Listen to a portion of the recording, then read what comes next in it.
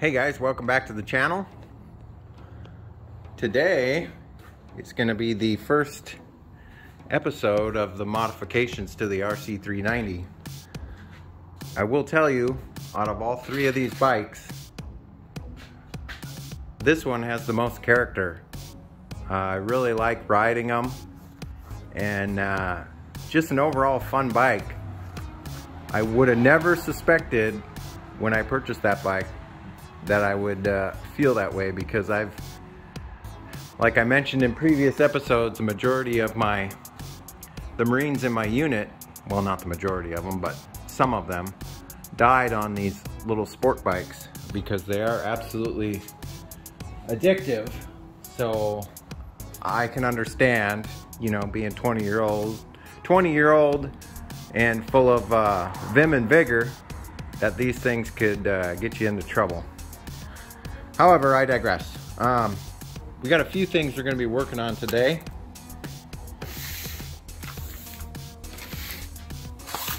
So, here is a part number. Now, this is a navigation kit that was originally designed for the RC390 previous generation. Uh, as some of you know, the 2022s are totally revamped. However, the handlebar design is very similar, so I'm hoping I can adapt the TomTom that's over on my Svartpilen to the RC390 so I can swap that back and forth between bikes as I need it.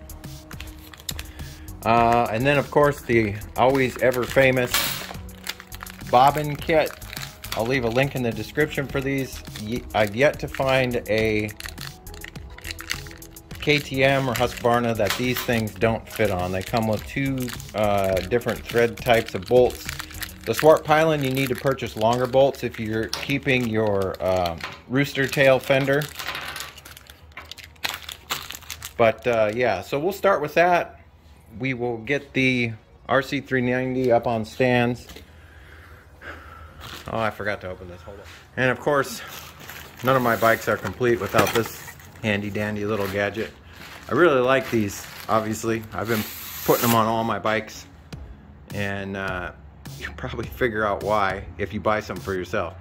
So yeah, we're gonna work on these. I can't guarantee you any of this stuff is gonna, especially the navigation stuff, that's not gonna fit. I know that these two items will. So um, let's get started.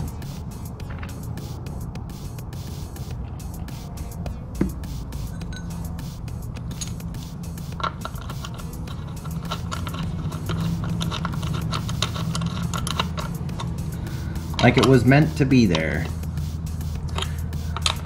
You guys are gonna wanna get some of these if you've got a KTM.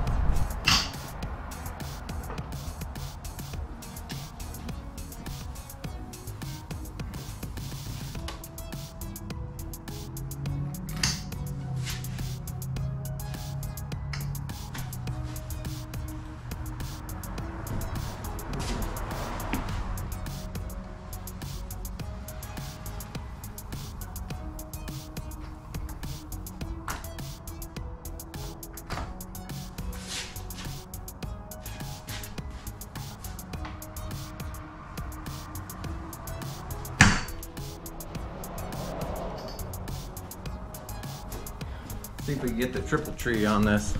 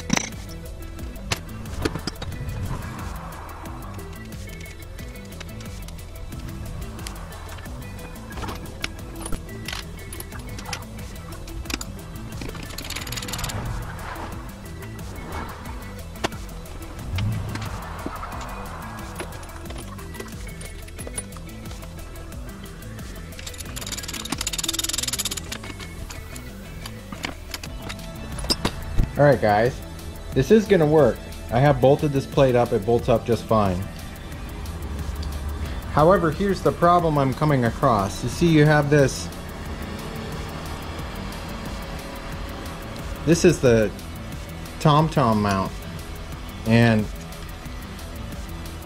to bolt it onto here you have to be able to access these screw holes and then the other problem is you see how this bolt wants to sit off of there like that? So it's gonna it's gonna push on the wire. If I spin it around this way which is backwards from the way it's supposed to be mounted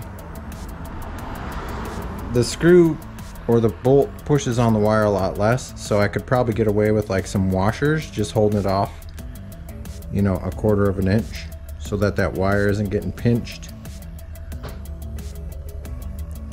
So that's kind of where I'm at. So I went to the store and I bought like $20 worth of different hardware in an attempt to hopefully alleviate this issue. Now the trick here is getting this thing put back together so I'll basically have to build it. I think I'll have to build it like this. I don't think I can assemble it. I don't think I can assemble this piece onto the bike and then try to run the screws through and make everything work. I don't think I have enough room to get a tool in there. I could be wrong. I'll give it a shot, but anyhow, that's where we're at.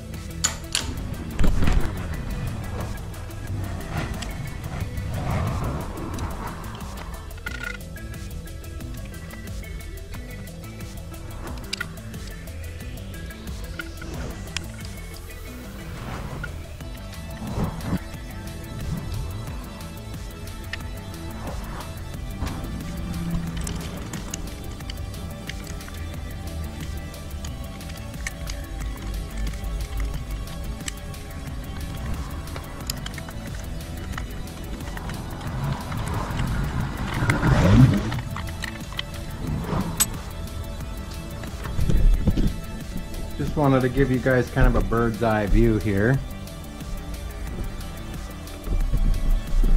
The lighting in here sucks.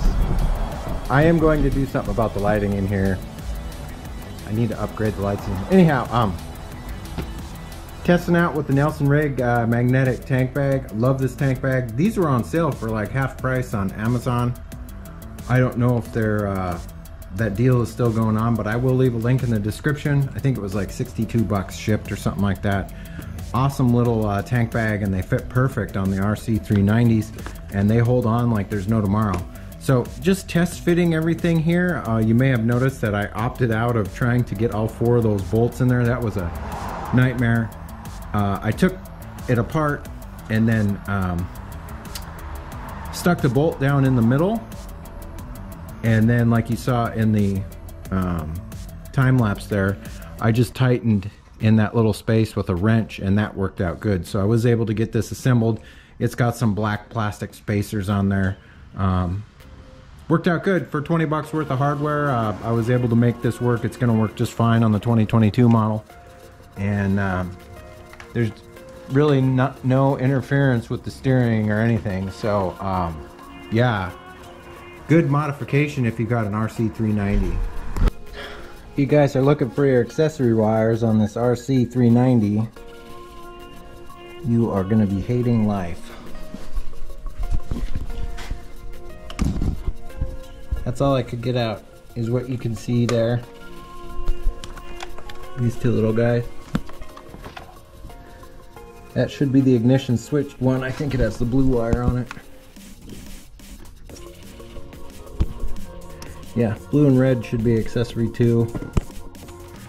Fun stuff. Just gotta get this stuff wired in and then uh, we'll test it. If you guys want an easier way to get to all the little wiring that's down in that little pocket, there's one 10 millimeter headed bolt that's holding the coolant reservoir on. You just remove that and then slide the coolant reservoir out of the way. So the wiring job on this is a lot more meticulous than on my other bikes because it's such a tight fit for everything. So I basically brought the wires down here and then I'll show you under the bike. So I utilize the factory cross wiring that runs right above the radiator there. There's a little bracket that they run wires. I utilize that and it seems to fit perfect and it's not pulling on the wires too much. So I left quite a bit of slack and everything. So, I mean, you're always going to have some sort of wiring movement, but I think that'll work out pretty darn good. Now we got to turn the bike on and test everything so we can cut all that apart and fix it because we didn't wire it correctly.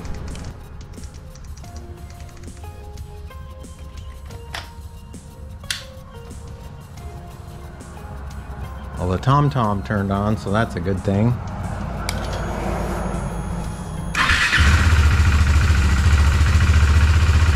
Let's see if these hand warmers work.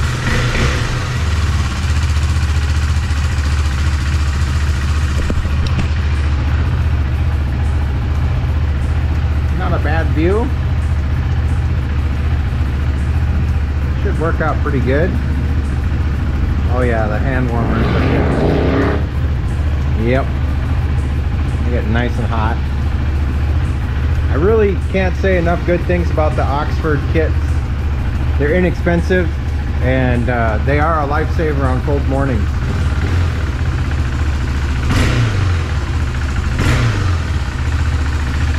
Notice I've got 300 miles so far. 621 miles to go before I can go past 7,500 RPM on this bike. Yeah, everything's working as it should.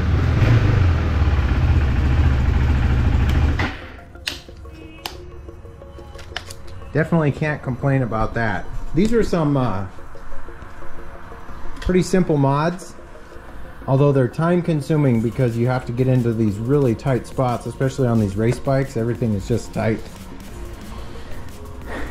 but I think that's probably gonna be it for this episode guys. If you like this episode give me a thumbs up. If you're not subscribed yet I'd love to have you as a subscriber. If you found this helpful please share my content. Um, getting real close to 10,000 subscribers and I've been on YouTube since 2009 and I started taking it more seriously probably around 2015 2016 and uh, I've been putting out content for quite quite a bit of time since then and quite a few videos so keep in mind that there is a playlist for all of my builds you can go back and check those out uh, if it interests you I've got quite a few ideas for fabrication and when you come across roadblocks, how do you fix them? And I've figured out a lot of that stuff and it, you might find it helpful in something that you're working on. But other than that, I hope you guys are staying safe, taking care of each other, and as always, I will catch you next time. See you later. Bye-bye.